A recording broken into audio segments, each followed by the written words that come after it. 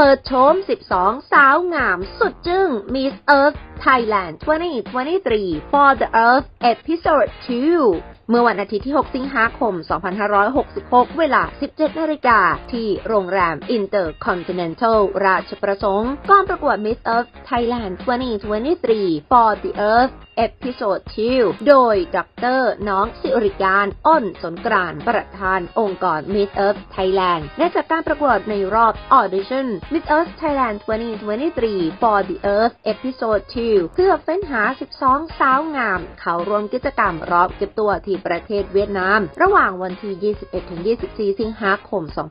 2566 และ 5 ใน 12 สาวงาม คือผู้ที่จะครอบครองมงกุฎแห่งเกียรติยศพร้อมด้วยเงินสดและของรางวัลรวมมูลค่ากว่า 10 ล้านบาท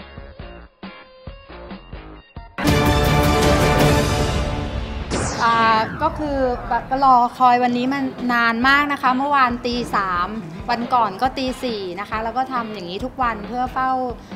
ค้นหาโครงการของน้องๆ ใน Facebook ใน Instagram ต่างๆ แล้วก็ดูคุณสมบัติแล้วก็ดูความตั้งใจของเขานะคะ เราก็ไม่ผิดหวังเลยค่ะเราเราเห็นเขา แล้วเราภูมิใจแทนคนไทยทุกคนนะคะที่จะได้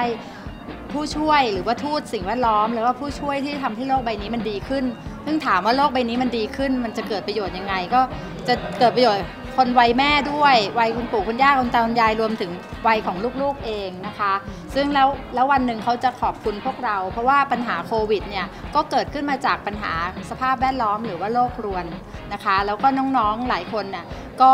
เห็นปัญหาแล้วรู้ว่าจะต้องแก้ไขปัญหายังไง รวมทั้งความสวยงดงามมาตรฐานสากลนะคะอย่างที่ประจักษ์แล้วก็ภูมิใจมาก วันนี้ขนาดนี้ยัง หัวใจเต้นตึกตักตึกตักดีใจมากที่มีรุ่นใหม่นะคะ มาอยู่กับรุ่นใหญ่นะคะ วันนี้ ภูมิใจนะคะ และขอต้อนรับน้องๆทั้ง 12 คน เข้าบ้าน Miss Earth Thailand อย่างเป็นทางการนะคะ หลังจากนี้นะก็โปรดติดตามเลย เพราะว่าเนี่ยเราจะมีช่วงออนไซต์กับออนกราวนะคะ แล้วก็ออนไลน์นะคะ ในช่วง 2 อาทิตย์นี้ที่ก่อนที่เราจะไปเวียดนาม เราก็จะมี 12 13 14 15 ที่เราจะทำพอร์เทรตแล้วไปเยี่ยมสถาบันที่ เกี่ยวข้องกับด้านสิ่งแวดล้อม แล้วไปทำ CSR ร่วมกันเพื่อเป็นสัญลักษณ์ของ Miss Earth Thailand ปี 2023 ได้เกิดขึ้นแล้วนะคะ หลังจากนั้นเราจะไปโดยสายการบินเวียดเจ็ตนะคะ แล้วอยู่ในฮานเอ่อ ฮอยอันนะคะ เราอยู่ฮอยอันและอยู่ดานังนะคะ ซึ่งไปสถานที่ที่เป็น signature เป็นสิ่งที่สามารถตอบโจทย์ได้ว่า ถ้าเรายังจะพัฒนาประเทศของเรา แต่เรายังเขียวได้อยู่ เรายังมีบรรยากาศที่ดีได้ แล้วก็เป็นการท่องเที่ยวที่ดีได้ด้วยเนี่ยก็เราไปอยู่ด้วยกันนะคะลูกตั้งแต่ 21 ถึง 24 สิงหาคมค่ะ แล้วก็กลับมาเก็บตัวที่นี่ค่ะมีอินเตอร์คอนติเนนตัลราชประสงค์ พร้อมกันนั้นก็จะแวะเวียนไปเยี่ยมสปอนเซอร์ของเรานะคะที่ CSR ที่สปอนเซอร์เราแน่นมาก แล้วก็ใส่ใจสิ่งแวดล้อม แล้วก็อยากเห็นความตั้งใจของน้องๆที่จะร่วมไปกับพวกเขา เพราะเขารู้อยู่แล้วแหละปัญหามันมีเยอะแยะมากมายที่รอที่จะมีคนรุ่นใหม่ที่เข้าไปเข้าใจปัญหา ภาวะโลกรวนนะคะ เป็นสิ่งที่เราผลักดันมาตลอด จนตอนนี้ก็มีกรมของตัวเองและกกรม climate change กระทรวงทรัพยากรธรรมชาติและสิ่งแวดล้อม เราเป็นนางงามที่มีกระทรวงของตัวเองนะคะลูกนะเราก็แล้วทุกคนผู้ใหญ่ในบ้านในเมือง แล้วก็ทั้งนักธุรกิจองค์กรต่างๆ ก็ support เราอย่างเต็มที่ในเรื่องนี้ ส่วนโครงการที่เราอยากทำก็ต้องขึ้นอยู่กับน้องๆ อย่างน้องๆหลายคนก็ suggest ในเรื่องที่เป็นเรื่องของขยะ พลาสติกที่จะต้องระงับยับยั้งไม่ให้เกิดขึ้นก็โดยการใช้ถุงผ้าก่อน หรือว่าการใช้วัสดุทดแทน หรือนำขยะพวกนี้มาใช้ให้เกิดประโยชน์ เป็นการอัพไซคลิงรีไซเคิล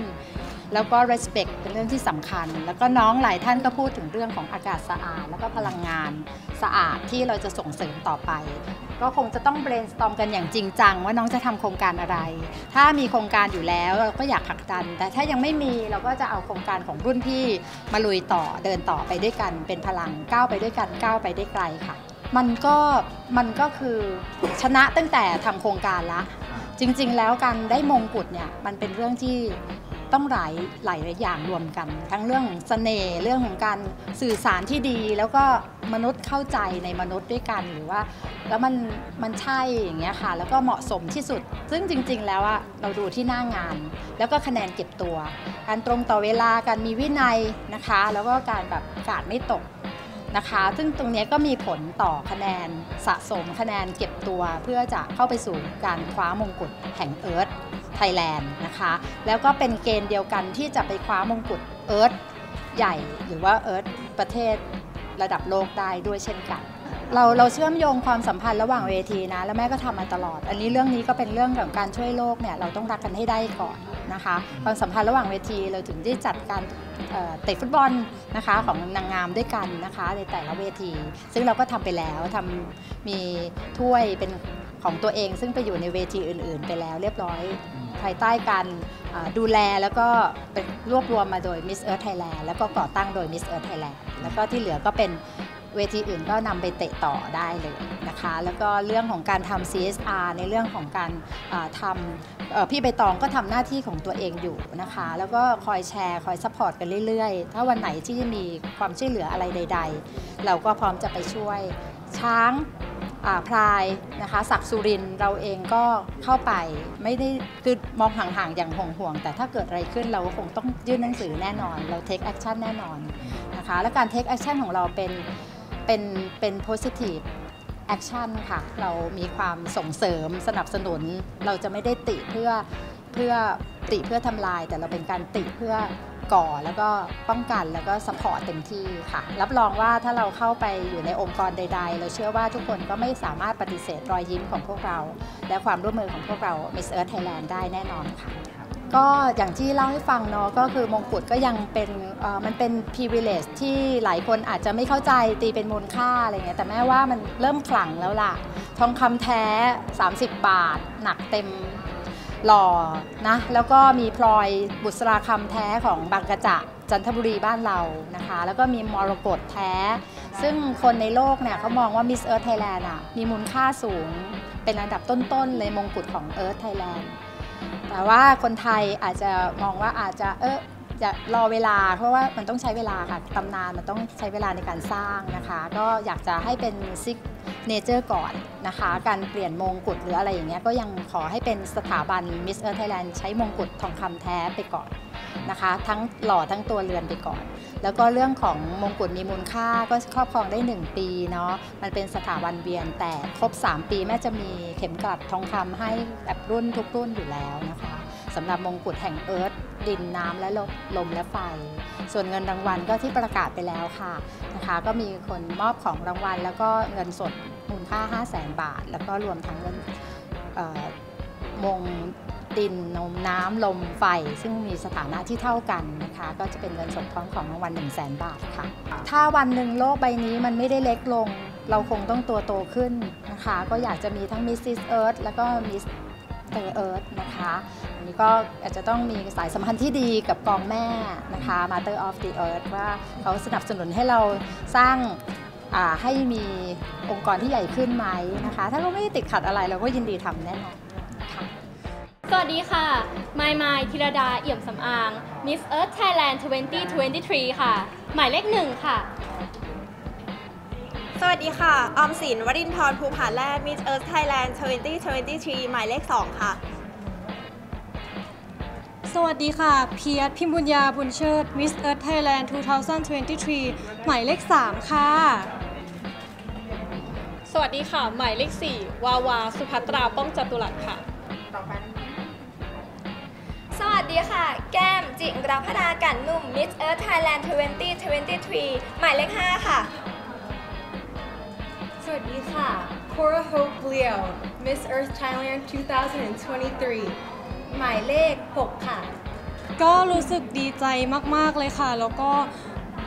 รู้สึกว่าเป็นความภาคภูมิใจอีกอย่างหนึ่งเลยค่ะ ในชีวิตที่ครั้งหนึ่งได้เป็นตัวแทนนะคะ เป็นหนึ่งในผู้เข้าประกวด Miss Earth Thailand ค่ะ แก้มนะคะ แน่นอนค่ะ ปัญหาที่แก้มเล็งเห็นคือปัญหาขยะ และแก้มผลักดันปัญหาขยะมาโดยตลอด โดยผ่านเพจ GG Green World ของแก้มนะคะ ก็อยากจะใช้สื่อจากพี่ๆมวลชนนี่แหละค่ะช่วยการผลักดันปัญหาขยะอย่างเร่งด่วนให้ทุกคนได้รู้จักและตระหนักค่ะ แน่นอนค่ะปัญหาขยะนะคะมันเกิดจากฝีมือมนุษย์ของเราเลย แล้วเราไม่สามารถที่จะกำจัดได้หมด แต่เราสามารถลดและไม่สร้างขยะได้ในปัจจุบันหนึ่งคือตระหนักและรู้จักวิธีการแค่แก้ไขปัญหาโดยการแยกขยะถูกวิธีตระหนักด้วยจากที่ตัวเรา เราเริ่มจากการใช้แก้วส่วนตัวใช้ถุงผ้าของเราเองแค่เนี้ยค่ะ ขยะพลาสติกก็ลดลงได้ได้แล้วจำนวนหนึ่งค่ะ ค่ะสำหรับออมเองนะคะ มั่นใจว่าเราคาดหวังมาก ๆ ที่จะไปถึงวงใหญ่ แล้วก็คาดหวังว่าเราจะสามารถเปลี่ยนแปลง มีส่วนช่วยในการเปลี่ยนแปลงโลกใบนี้ให้มันดีขึ้นได้ค่ะ สิ่งแวดล้อมมันก็จะดีขึ้นเรื่อย ๆ ค่ะ ความพร้อมตอนนี้นะคะ หมายว่าทุกคนที่มาในวันนี้ สาวงามทุกท่านเลยที่เข้ารอบและไม่ได้เข้ารอบทุกคนมีความพร้อมหมด แต่พวกเรานะคะเป็นตัวแทนของทุกคนเองค่ะ ที่จะเข้าไปทำกิจกรรมของกรไม่ว่าจะเป็นออนไซต์ออนไลน์หรือว่าพวกเราจะ go to ไปเวียดนามด้วยกันนะคะ พวกเรามีความพร้อมอย่างแน่นอนค่ะ และอยากให้ทุกคนติดตามพวกเรานะคะค่ะฝากเวที Miss Earth Thailand ด้วยนะคะ พวกเราทุกคนจะร่วมกันเปลี่ยนโลกใบนี้ให้นะให้สดใสเหมือนเดิมค่ะงั้นฝากแฟนๆทุกคนนะคะที่ดูอยู่แล้วก็ชมอยู่ ขอให้ support เรา Miss Earth Thailand กัน แล้วก็เรามาช่วยทำให้โลกเราใสสะอาดดีกว่านี้ค่ะ สวัสดีค่ะ กิฟต์ภูริตากรสุขสุขค่ะ Miss Earth Thailand